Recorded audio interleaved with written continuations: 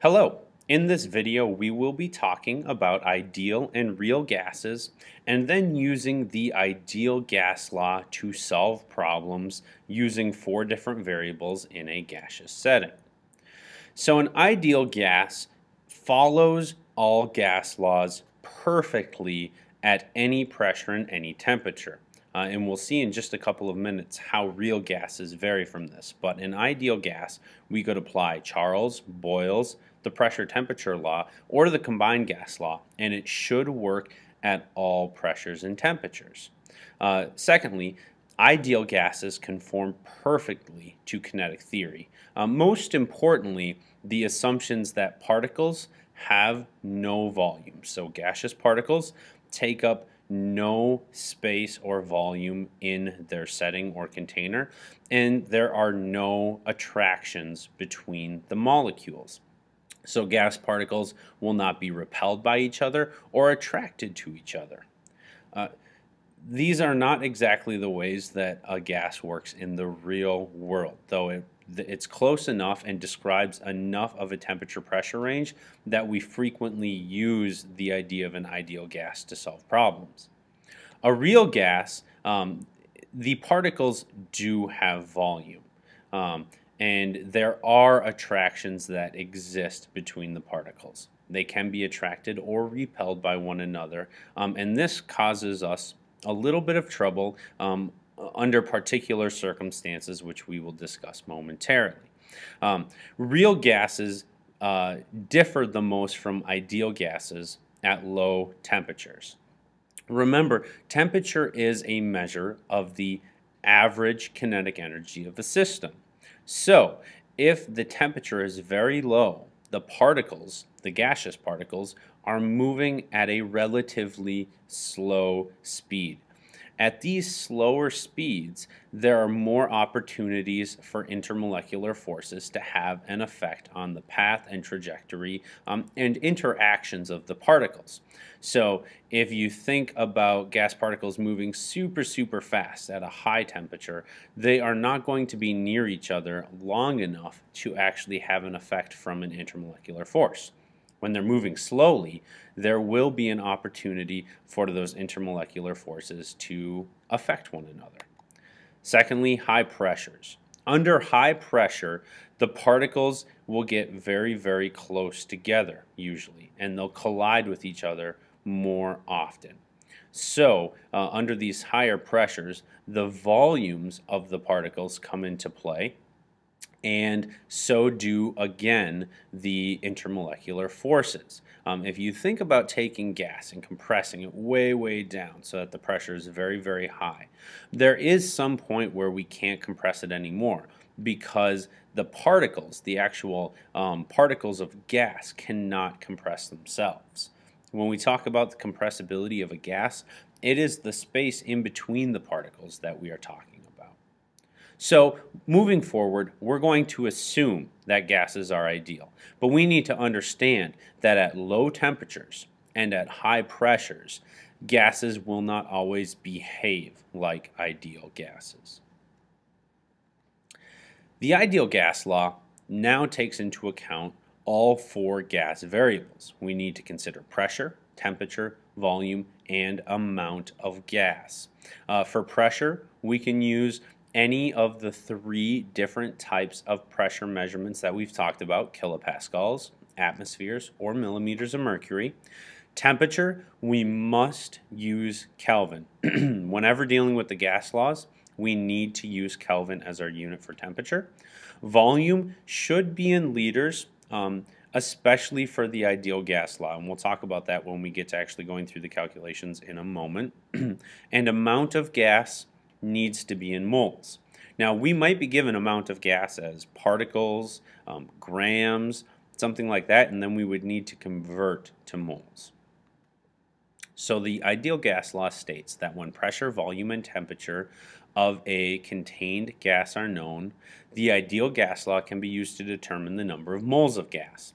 Uh, and really, if any of those four items are unknown and we know the other three, we can use the ideal gas law to determine that fourth unknown variable.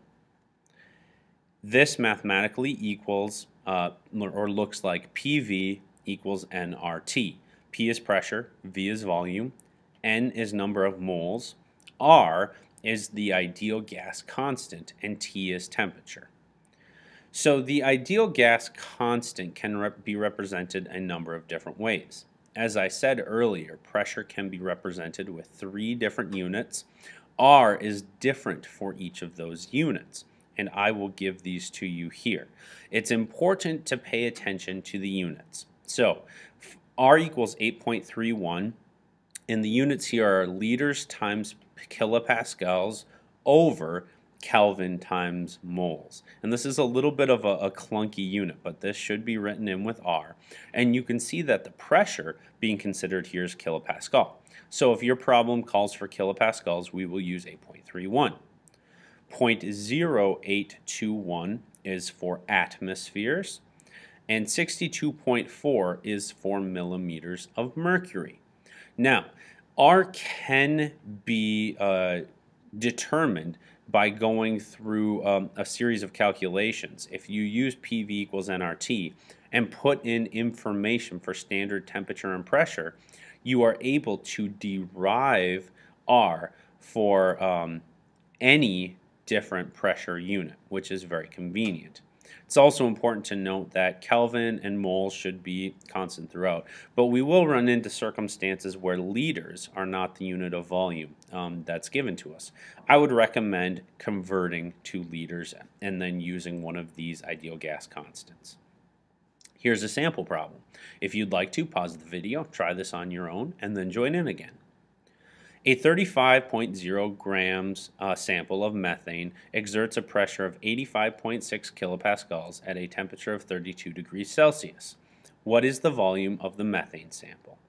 So we're given amount of gas, 35.0 grams. The pressure is given to us in kilopascals. The temperature is given to us in Celsius, and it is asking for the volume. So we are given three out of the four variables, and we need to solve for the last variable. We will use PV equals nRT to solve for volume.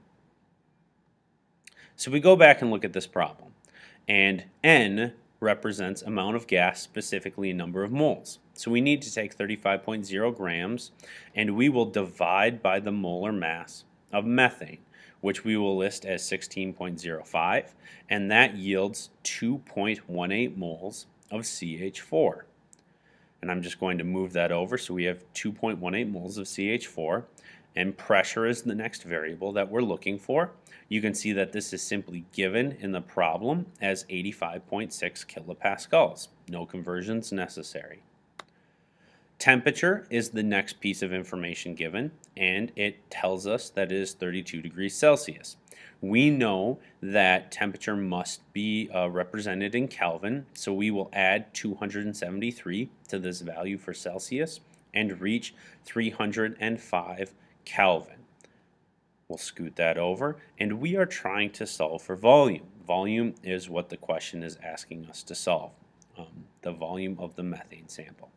So we now need R. And if you think back to your, you look back to your notes a couple of slides ago, the R value for a system that pressure is being measured in kilopascals is 8.31 liters times kPa over moles times Kelvin. So now we have our five pieces of information.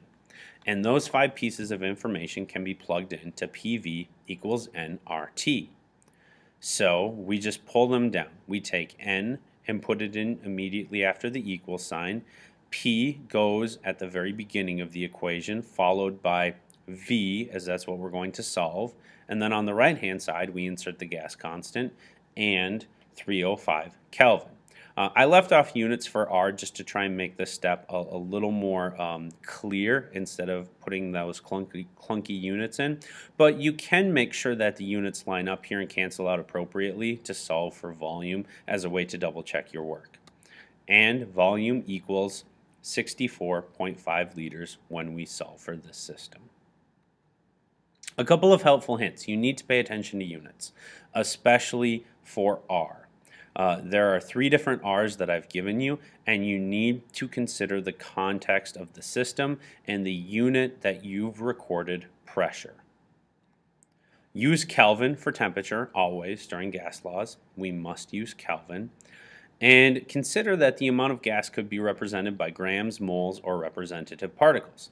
So if you're solving for n, you might need to go a step further. We might ask how many molecules of CH4 were present um, if you are solving for n. So you might need to do some molar conversions either before or after the ideal gas law. For further practice problems, check the comments and thank you.